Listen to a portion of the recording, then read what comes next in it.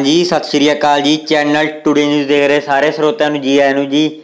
ਲੈ ਕੇ ਹਾਜ਼ਰ ਹਾਂ ਜੀ ਪੰਜਾਬ ਸੂਬੇ ਦੀਆਂ, ਸਵੇਰੇ ਵੇਲੇ ਦੀਆਂ ਵੱਡੀਆਂ ਖਬਰਾਂ ਦਾ ਸਪੈਸ਼ਲ ਬੁਲੇਟਿਨ ਤੇ ਉਸ ਤੋਂ ਪਹਿਲਾਂ ਆਪਾਂ ਝਾਤ ਮਾਰਦੇ ਹਾਂ ਅੱਜ ਦੀਆਂ ਚੋਣਵੀਆਂ ਖਬਰਾਂ ਤੇ। ਤੇ ਖਬਰਾਂ ਨੂੰ ਸ਼ੁਰੂ ਕਰਨ ਤੋਂ ਪਹਿਲਾਂ ਸਾਰੇ ਸਰੋਤੇ ਵੀਰਾਂ ਨੂੰ ਰਿਕੁਐਸਟ ਹੈ, ਜਿਨ੍ਹਾਂ ਨੇ ਅਜੇ ਤੱਕ ਸਾਡਾ ਚੈਨਲ ਸਬਸਕ੍ਰਾਈਬ ਨਹੀਂ ਕੀਤਾ, ਸਾਡੇ ਚੈਨਲ ਨੂੰ ਸਬਸਕ੍ਰਾਈਬ ਜ਼ਰੂਰ ਕਰ ਲੈਣਾ। ਨਾਲ ਹੀ ਜੇ ਤੁਹਾਨੂੰ ਸਾਡੇ ਦੁਆਰਾ ਦਿੱਤੀ ਗਈ ਜਾਣਕਾਰੀ ਵਧੀਆ ਲੱਗਦੀ ਤਾਂ ਵੀਡੀਓ ਨੂੰ ਲਾਈਕ ਜ਼ਰੂਰ ਕਰਨਾ। ਸੋ। ਹੁਣ ਪਹਿਲੀ ਚੋਣਵੀਂ ਖਬਰ ਆ ਰਹੀ ਹੈ ਪੰਜਾਬ ਸਰਕਾਰ ਵੱਲੋਂ ਸੂਬੇ ਦੇ ਕਿਸਾਨਾਂ ਨੂੰ ਵੱਡੀ ਰਾਹਤ 1.3 ਲੱਖ ਕਿਸਾਨਾਂ ਨੂੰ ਮਿਲੇਗਾ ਫਾਇਦਾ। ਟਰਾਂਸਪੋਰਟ ਮਾਫੀਆ ਖਿਲਾਫ ਕੈਪਟਨ ਦਾ ਐਕਸ਼ਨ ਚ ਫੇਰਿਓ ਵਿਰੋਧ ਮਗਰੋਂ ਵੱਡਾ ਫੈਸਲਾ। ਬੀਤੇ 24 ਘੰਟਿਆਂ 'ਚ ਕਰੋਨਾ ਦੇ ਰਿਕਾਰਡ 9304 ਨਵੇਂ ਮਾਮਲੇ, ਹੁਣ ਤੱਕ 6000 ਤੋਂ ਵੱਧ ਮੌਤਾਂ। ਡਾਕਟਰ ਬਣਾਉਣ ਲਈ 30 ਲੱਖ ਲੱਗਦੇ। ਅਸੀਂ ਤਾਂ ਸਿਰਫ 7.5 ਲੱਖ ਲੈਣਾ ਹੈ। ਐਮਬੀਬੀਐਸ ਫੀਸਾਂ 'ਚ ਵਾਧੇ ਤੇ ਮੈਡੀਕਲ ਸਿੱਖਿਆ ਮੰਤਰੀ ਦਾ ਬਿਆਨ। ਨਵਜੋਤ ਸਿੱਧੂ ਦੇ ਆਮ ਆਦਮੀ ਪਾਰਟੀ ਸ਼ਾਮਿਲ ਹੋਣ ਦੀ ਚਰਚਾ ਨਾਲ ਸਿਆਸਤ ਪਖੀ ਟੈਸਟ ਪਾਸ ਢਾਡੀ ਜਥੇ ਸ਼੍ਰੀ ਅਕਾਲ ਤਖਤ ਸਾਹਿਬ ਦੇ ਵਾਰਾ ਗਾ ਸਕਣਗੇ। ਬਲਦੇਵ ਸਿੰਘ ਐਮਏ 42 ਕਰੋੜ ਲੋਕਾਂ ਨੂੰ 53248 ਕਰੋੜ ਰੁਪਏ ਦੀ ਵਿੱਤੀ ਮਦਦ ਦਿੱਤੀ। ਵਿੱਤ ਮੰਤਰਾਲਾ, ਅੱਜ ਅੰਮ੍ਰਿਤਸਰ 'ਚ 15 ਕਰੋਨਾ ਪੋਜ਼ਿਟਿਵ ਕੇਸ ਹੋਏ ਰਿਪੋਰਟ। ਸਿੱਖਿਆ ਵਿਭਾਗ ਨੇ ਸਕੂਲ ਮੈਨੇਜਮੈਂਟ ਕਮੇਟੀਆਂ ਦੇ ਕਾਰਜਕਾਲ ਦਾ ਸਮਾਂ 30 ਸਤੰਬਰ ਤੱਕ ਵਧਾਇਆ।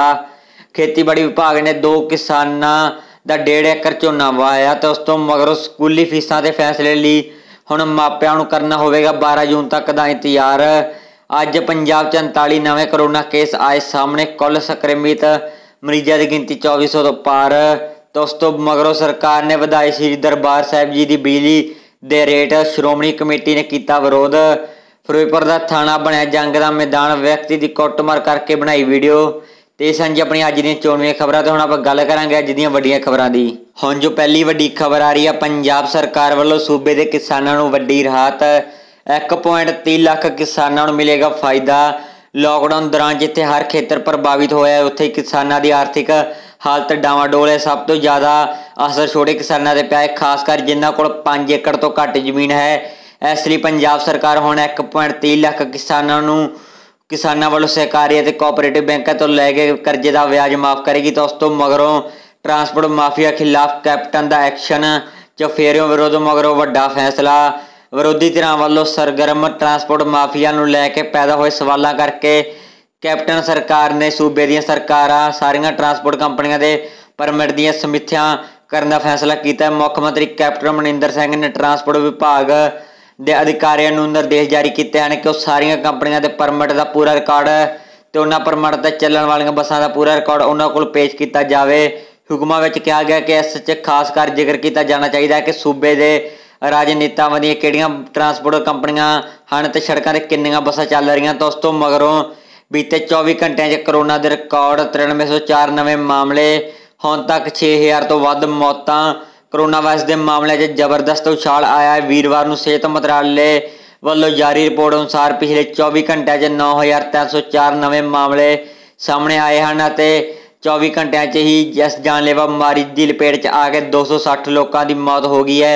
ਉੱਥੇ ਹੀ ਪਿਛਲੇ 24 ਘੰਟਿਆਂ 'ਚ 3804 ਲੋਕ ਠੀਕ ਹੋਏ ਹਨ ਤੇ ਹੁਣ ਦੇਸ਼ 'ਚ ਕੁੱਲ ਮਰੀਜ਼ਾਂ ਦੀ ਗਿਣਤੀ 216919 ਹੈ, ਜਿਨ੍ਹਾਂ 'ਚੋਂ 6075 ਲੋਕਾਂ ਦੀ ਮੌਤ ਹੋ ਚੁੱਕੀ ਹੈ। ਰਾਤ ਦੀ ਗੱਲ ਇਹ ਵੀ ਹੈ ਕਿ ਕਰੀਬ 50% ਦੀ ਜਾਣੀ ਕਿ 104107 ਮਰੀਜ਼ ਕਰੋਨਾ ਤੋਂ ਜੰਗ ਜਿੱਤ ਚੁੱਕੇ ਹਨ ਤੇ ਹੁਣ ਦੇਸ਼ 'ਚ ਕੁੱਲ ਸਰਗਰਮ ਮਾਮਲਿਆਂ ਦੀ ਗਿਣਤੀ 106737 ਹੈ। ਪਿਛਲੇ ਕੁਝ ਦਿਨਾਂ 'ਚ ਮਰੀਜ਼ਾਂ ਦੇ ਠੀਕ ਹੋਣ ਦਾ ਆંકੜਾ ਤੇਜ਼ੀ ਨਾਲ ਵਧ ਰਿਹਾ ਤਾਂ ਉਸ ਤੋਂ ਮਗਰੋਂ ਡਾਕਟਰ ਬਣਾਉਣ ਲਈ 30 ਲੱਖ ਲੱਗਦਾ ਸੀ ਤਾਂ ਸਿਰਫ 7.5 ਲੱਖ ਲੈਣਾ ਐਮਬੀਐਫ ਫੀਸਾਂ 'ਚ ਵਾਧੇ ਤੇ ਮੈਡੀਕਲ ਸਿੱਖਿਆ ਮੰਤਰੀ ਦਾ ਬਿਆਨ ਮੈਡੀਕਲ ਸਿੱਖਿਆ ਤੇ ਖੋਜ ਮੰਤਰੀ ਓਪੀ ਸੋਨੀ ਦੇ ਮੈਡੀਕਲ ਕਾਲਜ ਪੁੱਜਣ ਤੇ ਰੈਜ਼ੀਡੈਂਟ ਡਾਕਟਰਾਂ ਐਸੋਸੀਏਸ਼ਨ ਵੱਲੋਂ ਕਾਲੇ ਬਿੱਲੇ ਲਾ ਕੇ ਰੋਸ ਪ੍ਰਗਟ ਕੀਤਾ ਗਿਆ। ਰੈਜ਼ੀਡੈਂਟ ਡਾਕਟਰਾਂ ਨੇ ਜਿੱਥੇ ਐਮਬੀਬੀਐਸ ਫੀਸਾਂ 'ਚ ਕੀਤੇ ਗਏ, ਵਾਅਦੇ ਦਾ ਸੱਤਵੀਂ ਢੰਗ ਨਾਲ ਵਿਰੋਧ ਕੀਤਾ। ਉੱਥੇ ਹੀ ਸਿੱਖਿਆ ਮੰਤਰੀ ਨੇ ਇਸ ਨੂੰ ਮਾਮੂਲੀ ਵਾਅਦਾ ਦੱਸਦਿਆਂ ਆਪਣਾ ਪੱਲਾ ਝਾੜ ਲਿਆ। ਸਰਕਾਰੀ ਮੈਡੀਕਲ ਕਾਲਜ ਪੁੱਜੇ ਮੰਤਰੀ ਓਪੀ ਸੋਨੀ ਨੇ ਕਿਹਾ ਕਿ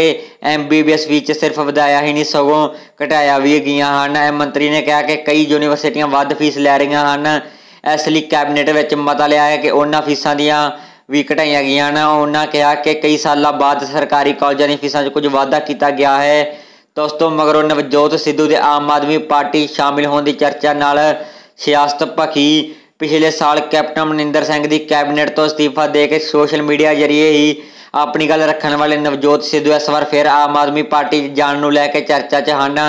ਹਾਲਾਂਕਿ ਇਹਨਾਂ ਚਰਚਾਵਾਂ ਤੇ ਟਿੱਪਣੀ ਲਈ ਉਹਨਾਂ ਨਾਲ ਸੰਪਰਕ ਨਹੀਂ ਹੋ ਸਕਿਆ। ਨਵਜੋਤ ਸਿੰਘ ਸਿੱਧੂ ਦੇ ਆਮ ਆਦਮੀ ਪਾਰਟੀ 'ਚ ਸ਼ਾਮਿਲ ਹੋਣ ਦੀਆਂ ਖਬਰਾਂ ਇਸ ਲਈ ਜ਼ੋਰ ਫੜ ਰਹੀਆਂ ਹਨ ਕਿਉਂਕਿ ਇਸ ਵਾਰ ਉਹਨਾਂ ਨੇ ਆਪ ਸੁਪਰੀਮੋ ਅਰਵਿੰਦ ਕੇਜਰੀਵਾਲ ਵਿੱਚ ਪ੍ਰਸਿੱਧ ਰਾਜ ਰਣਨੀਤੀ ਕਾਰ ਪ੍ਰਸਤਾਰ ਕਿਸ਼ੋਰ ਗੱਲ ਕਰਵਾ ਰਹੇ। ਹਨ ਦੋਸਤੋ, ਮਗਰੋਂ ਟੈਸਟ ਪਾਸ ਢਾਡੀ ਜਥੇ ਸ਼੍ਰੀ ਅਕਾਲ ਤਖਤ ਸਾਹਿਬ ਤੇ ਵਾਰਾ ਗਾ ਸਕਣਗੇ। ਬਲਦੇਵ ਸਿੰਘ ਐਮਏ ਸ਼੍ਰੀ ਅਕਾਲ ਤਖਤ ਸਾਹਿਬ ਮਹਾਨ ਹੈ। ਇਸ ਦਾ ਵਿਰਸਾ ਮਹਾਨ ਹੈ।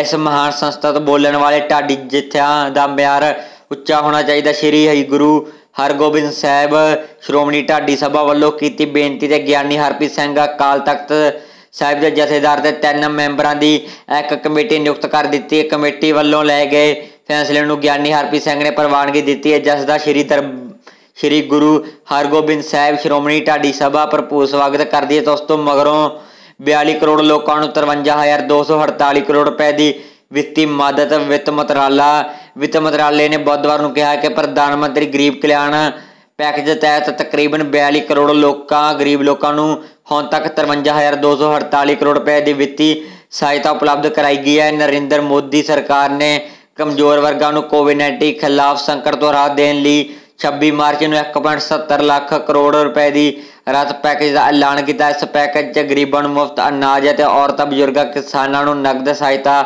ਉਪਲਬਧ ਕਰਾਉਣਾ ਸ਼ਾਮਿਲ ਹੈ। ਉਸ ਤੋਂ ਮਗਰੋਂ ਅੱਜ ਅੰਮ੍ਰਿਤਸਰ ਵਿੱਚ 15 ਕਰੋਨਾ ਪੋਜ਼ਿਟਿਵ ਕੇਸ ਹੋਏ ਰਿਪੋਰਟ। ਇਹ ਖਬਰ ਆ ਰਹੀ ਹੈ ਜੀ, ਅੱਜ ਅੰਮ੍ਰਿਤਸਰ ਵਿੱਚ 15 ਕਰੋਨਾ ਰਿਪੋਰਟ ਪੋਜ਼ਿਟਿਵ ਕੇਸ ਆਏ ਹਨ। ਜਿਸ ਨਾਲ ਕੁੱਲ 420 ਪੋਜ਼ਿਟਿਵ ਕੇਸ ਹੋ ਗਏ ਹਨ। 325 ਡਿਸਚਾਰਜ ਹੋਏ ਹਨ ਤੇ 87 ਦਾਖਲ ਅਤੇ 7 ਦੀਆਂ ਮੌਤਾਂ ਹੋਈਆਂ ਹਨ। ਤਾਂ ਉਸ ਤੋਂ ਮਗਰੋਂ ਸਿੱਖਿਆ ਵਿਭਾਗ ਨੇ ਸਕੂਲ ਮੈਨੇਜਮੈਂਟ ਕਮੇਟੀਆਂ ਦੇ ਕਾਰਜ ਕਾਲ ਦਾ ਸਮਾਂ 30 ਸਤੰਬਰ ਤੱਕ ਵਧਾਇਆ। ਸਿੱਖਿਆ ਵਿਭਾਗ ਪੰਜਾਬ ਵੱਲੋਂ ਸਰਕਾਰੀ ਸਕੂਲਾਂ 'ਚ ਸਕੂਲ ਮੈਨੇਜਮੈਂਟ ਕਮੇਟੀਆਂ ਦੇ ਗਠਨ ਦਾ ਕਾਰਜਕਾਲ ਜੋ ਕਿ 31 ਮਾਰਚ 2020 ਨੂੰ ਖਤਮ ਹੋ ਗਿਆ ਸੀ, ਨੂੰ ਨੂੰ ਕਰੋਨਾ ਵਾਇਰਸ ਦੀ ਸਥਿਤੀ ਨੂੰ ਮੁੱਖ ਰੱਖਦੇ 30 ਸਤੰਬਰ 2020 ਤੱਕ ਵਧਾ ਦਿੱਤਾ ਗਿਆ। ਤਾਂ ਉਸ ਤੋਂ ਮਗਰੋਂ ਖੇਤੀਬਾੜੀ ਵਿਭਾਗ ਨੇ ਦੋ ਕਿਸਾਨਾਂ ਦਾ 1.5 ਏਕੜ ਝੋਨਾ ਵਹਾਇਆ। ਇਹ ਖਬਰ ਆ ਰਹੀ ਹੈ ਪੰਜਾਬ ਸਰਕਾਰ ਵੱਲੋਂ 10 ਜੂਨ ਤੋਂ ਝੋਨੇ ਦੀ ਲਵਾਈ ਸ਼ੁਰੂ ਕੀਤੇ ਜਾਣ ਸੰਬੰਧੀ ਜਾਰੀ ਹਦਾਇਤਾਂ ਦੇ ਉਲਟ ਸਮੇਂ ਤੋਂ ਪਹਿਲਾਂ ਝੋਨਾ ਲਵਾਉਣ ਵਾਲੇ ਕਿਸਾਨਾਂ ਖਿਲਾਫ ਖੇਤੀਬਾੜੀ ਤੇ ਕਿਸਾਨ ਭਲਾਈ ਵਿਭਾਗ ਵੱਲੋਂ ਸਖਤੀ ਕਰਨੀ ਸ਼ੁਰੂ ਕਰ ਦਿੱਤੀ ਗਈ ਹੈ। ਇਸੇ ਦੇ ਤਹਿਤ ਗੜਸ਼ੰਕਰ ਨੇੜਲੇ ਪਿੰਡ ਦਾਰਾਪੁਰ ਵਿਖੇ ਡਾਕਟਰ ਸੁਭਾਸ਼ ਚੰਦਰ ਖੇਤੀਬਾੜੀ ਅਫਸਰ ਨੇ ਅੱਜ ਦੋ ਕਿਸਾਨਾਂ ਦਾ 1.5 ਏਕੜ ਝੋਨਾ ਵਾਇਆ ਤੇ ਕਿਸਾਨਾਂ ਨੂੰ ਨੋਟਿਸ ਜਾਰੀ ਕੀਤੇ। ਦੋਸਤੋ, ਮਗਰੋਂ ਸਕੂਲੀ ਫੀਸਾਂ ਦੇ ਫੈਸਲੇ ਲਈ ਹੁਣ ਮਾਪਿਆਂ ਨੂੰ ਕਰਨਾ ਹੋਵੇਗਾ 12 ਜੂਨ ਤੱਕ ਦਾ ਇੰਤਜ਼ਾਰ ਲਾਕਡਾਊਨ ਦੀ ਇਸ ਮੰਦੀ ਦੇ ਸਮੇਂ ਵਿੱਚ ਸਕੂਲਾਂ ਵੱਲੋਂ ਬੱਚਿਆਂ ਦੇ ਮਾਪਿਆਂ ਤੋਂ ਫੀਸਾਂ ਮੰਗੇ ਜਾਣ ਤੇ ਮਾਪਿਆਂ ਵੱਲੋਂ ਇਸ ਦੇ ਵਿਰੋਧ 'ਚ ਅੱਜ ਸਿੱਖਿਆ ਮੰਤਰੀ ਨੇ ਘਰ ਦੇ ਬਾਹਰ ਧਰਨਾ ਦਿੱਤਾ ਗਿਆ ਅਤੇ ਜੰਮ ਕੇ ਪੜਾਸ ਕੱਢੀ ਗਈ। ਜਿਸ ਸਮੇਂ ਮਾਪਿਆਂ ਵੱਲੋਂ ਸਰਕਾਰ ਖਿਲਾਫ ਜੰਮ ਕੇ ਨਾਰੇਬਾਜ਼ੀ ਕੀਤੀ, ਇਸ ਤੇ ਸਿੱਖਿਆ ਮੰਤਰੀ ਨੇ ਕਿਹਾ ਕਿ ਸਾਨੂੰ 12 ਤਰੀਕ ਤੱਕ ਦੇ ਲਈ ਤਿਆਰ ਕਰਨਾ ਪਵੇਗਾ। ਇਸ ਮਾਮਲੇ ਨੂੰ ਲੈ ਕੇ ਅਦਾਲਤ 'ਚ ਪਟੀਸ਼ਨ ਦਾਖਲ ਹੈ। ਤਾਂ ਉਸ ਤੋਂ ਮਗਰੋਂ ਅੱਜ ਪੰਜਾਬ 'ਚ 39 ਨਵੇਂ ਕਰੋਨਾ ਕੇਸ ਸੰਕਰਮਿਤ ਮਰੀਜ਼ਾਂ ਦੀ ਗਿਣਤੀ 2400 ਹੋਈ ਪਾਰ। ਇਹ ਖਬਰ ਆ ਰਹੀ ਹੈ ਪੰਜਾਬ 'ਚ ਕਰੋਨਾ ਵਾਇਰਸ ਦਾ ਕਹਿਰ ਵਧਦਾ ਹੀ ਜਾ ਰਿਹਾ ਹੈ। ਅੱਜ ਕਰੋਨਾ ਵਾਇਰਸ ਦੇ 39 ਨਵੇਂ ਕੇਸ ਸਾਹਮਣੇ ਆਏ ਹਨ। ਸੂਬੇ 'ਚ ਕਰੋਨਾ ਮਰੀਜ਼ਾਂ ਦੀ ਗਿਣਤੀ 2400 ਤੋਂ ਪਾਰ ਹੋ ਗਈ ਹੈ। ਸੂਬੇ 'ਚ ਕਰੋਨਾ ਨਾਲ ਮਰਨ ਵਾਲਿਆਂ ਦੀ ਕੁੱਲ ਗਿਣਤੀ 47 ਅਤੇ ਵੀਰਵਾਰ ਨੂੰ 39 ਨਵੇਂ ਮਰੀਜ਼ ਸਾਹਮਣੇ ਆਏ ਹਨ ਤੇ ਜਿਨ੍ਹਾਂ ਵਿੱਚੋਂ ਅੰਮ੍ਰਿਤਸਰ 'ਚ 15 ਫਾਜ਼ਿਲਕਾ ਮੁਕਤਸਰ ਰੋਪੜ, ਨਵਾਂਸ਼ਹਿਰ, ਸੰਗਰੂਰ ਹੁਸ਼ਿਆਰਪੁਰ ਗੁਰਦਾਸਪੁਰ ਵਿੱਚ ਇੱਕ ਇੱਕ ਮਰੀਜ਼ ਕਰੋਨਾ ਵਾਇਰਸ ਨਾਲ ਸੰਕਰਮਿਤ ਟੈਸਟ ਕੀਤਾ ਗਿਆ। ਤੋਂ ਉਸ ਤੋਂ ਮਗਰੋਂ ਸਰਕਾਰ ਨੇ ਵਧਾਏ ਦਰਬਾਰ ਸਾਹਿਬ ਦੀ ਬਿਜਲੀ ਦੇ ਰੇਟ। ਸ਼੍ਰੋਮਣੀ ਕਮੇਟੀ ਨੇ ਕੀਤਾ ਵਿਰੋਧ। ਸੱਚਖੰਡ ਸ੍ਰੀ ਹਰਮੰਦਰ ਸਾਹਿਬ ਜੀ ਨੂੰ ਮਿਲਣ ਵਾਲੀ ਬਿਜਲੀ ਦੀ ਦਰ ਵਿੱਚ ਪ੍ਰਤੀ ਯੂਨਿਟ 5 ਪੈਸੇ ਦਾ ਵਾਧਾ ਕੀਤਾ ਗਿਆ। ਇਸ ਵਾਧੇ ਦਾ ਸ਼੍ਰੋਮਣੀ ਗੁਰਦੁਆਰਾ ਪ੍ਰਬੰਧਕ ਕਮੇਟੀ ਨੇ ਤਿੱਖਾ ਵਿਰੋਧ ਕੀਤਾ ਹੈ। ਇਸ ਫੈਸਲੇ ਨੂੰ ਵਾਪਸ ਲੈਣ ਦੀ ਮੰਗ ਕੀਤੀ। ਸ਼੍ਰੋਮਣੀ ਕਮੇਟੀ ਦੇ ਮੁੱਖ ਸਕੱਤਰ ਡਾਕਟਰ ਰੂਪ ਸਿੰਘ ਨੇ ਏਬੀਪੀ ਸਾਂਝਾ ਨਾਲ ਗੱਲਬਾਤ ਕਰਦਿਆਂ ਕਿਹਾ ਕਿ ਸ੍ਰੀ ਦਰਬਾਰ ਸਾਹਿਬ ਹਰ ਮਹੀਨੇ 10 ਲੱਖ ਯੂਨਿਟ ਬਿਜਲੀ ਦੀ ਖਪਤ ਹੁੰਦੀ ਹੈ, ਜੋ ਪਿਛਲੇ ਸਾਲ ਮਈ ਮਹੀਨੇ 5.94 ਰੁਪਏ ਪ੍ਰਤੀ ਯੂਨਿਟ ਮਿਲਦੀ ਸੀ। ਉਹਨਾਂ ਦੱਸਿਆ ਕਿ ਸਰਕਾਰ ਨੇ ਇਸ ਸਾਲ ਪਹਿਲਾਂ ਹੀ 12 ਪੈਸੇ ਪ੍ਰਤੀ ਯੂਨਿਟ ਵਧਾਏ ਸਨ। ਬਿਜਲੀ ਖਰਚਾ 6.6 ਪੈਸੇ ਰੁਪਏ ਪ੍ਰਤੀ ਯੂਨਿਟ ਹੋ ਗਿਆ। ਜਿਸ ਨੂੰ ਸਰਕਾਰ ਨੇ ਹੁਣ ਹੋਰ ਵੀ ਵਧਾ ਦਿੱਤਾ। ਤਾਂ ਉਸ ਤੋਂ ਮਗਰੋਂ ਫਿਰੋਜ਼ਪੁਰ ਦਾ ਥਾਣਾ ਬਣਿਆ। ਜੰਗ ਦਾ ਮੈਦਾਨ। ਵਿਅਕਤੀ ਦੀ ਕੁੱਟਮਾਰ ਕਰਕੇ ਬਣਾਈ ਵੀਡੀਓ। ਫਿਰੋਜ਼ਪੁਰ ਦਾ ਥਾਣਾ ਉਸ ਸਮੇਂ ਜੰਗ ਦਾ ਮੈਦਾਨ ਬਣ ਗਿਆ, ਜਦੋਂ ਇੱਥੇ ਸਤਕਾਰ ਕਮੇਟੀ ਦੇ ਮੈਂਬਰਾਂ ਵੱਲੋਂ ਇੱਕ ਵਿਅਕਤੀ ਦੀ ਸ਼ਰੇਆਮ ਕੁੱਟਮਾਰ ਕਰ ਦਿੱਤੀ। ਇਸ ਵੀਡੀਓ ਵੀ ਕਾਫੀ ਵਾਇਰਲ ਹੋ ਗਈ ਤੇ ਸਾਂਝੀ ਆਪਣੇ ਅੱਜ ਦੀਆਂ ਵੱਡੀਆਂ ਖਬਰਾਂ। ਕਿਰਪਾ ਕਰਕੇ ਵੀਡੀਓ ਨੂੰ ਵੱਧ ਤੋਂ ਵੱਧ ਸ਼ੇਅਰ ਕਰੋ ਚੈਨਲ ਨੂੰ ਸਬਸਕ੍ਰਾਈਬ ਜ਼ਰੂਰ ਕਰਿਓ ਤੇ ਨਾਲ ਹੀ ਆਪਣੇ ਕੀਮਤੀ ਵਿਚਾਰ ਇਹਨਾਂ ਖਬਰਾਂ ਸੰਬੰਧੀ ਜ਼ਰੂਰ ਦੱਸਣਾ। ਤੇ ਜੇ ਵੀਡੀਓ ਵਧੀਆ ਲੱਗੀ ਹੋਵੇ ਤਾਂ ਵੀਡੀਓ ਨੂੰ ਲਾਈਕ ਕਰਨਾ। ਧੰਨਵਾਦ ਜੀ।